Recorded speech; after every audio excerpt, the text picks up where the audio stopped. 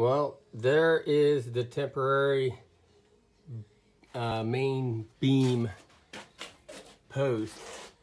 And there is the concrete block pillar that is about to fall over. There it goes.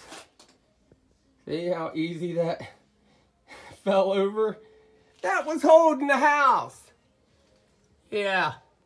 And that's why we're going with the steel I-beam.